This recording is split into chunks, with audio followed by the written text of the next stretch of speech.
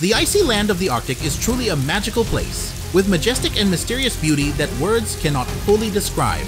Not only that, it also holds countless strange things and truths that have yet to be fully explored. Oh my, the wind is so strong. Huh? Am I seeing things? A mammoth? This species has been extinct for a long time. Unbelievable. It's a secret base inside the mountain. I have to follow the mammoth inside and see what the heck is going on. Oh my god! Ouch!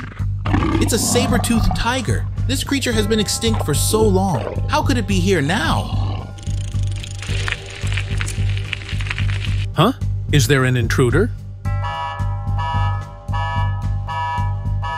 Hey, hold on, let me explain first. Ouch!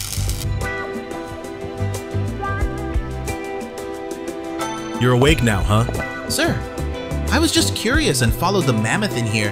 I truly had no ill intentions. While you were unconscious, we thoroughly investigated you. Sorry for scaring you.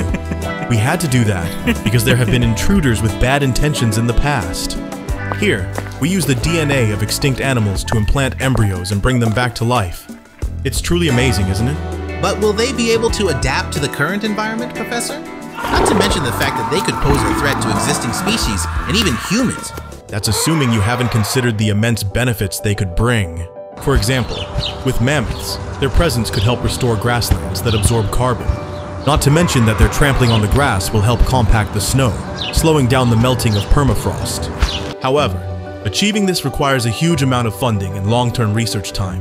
Reviving extinct animals could bring scientific and environmental benefits, but it also comes with unpredictable risks.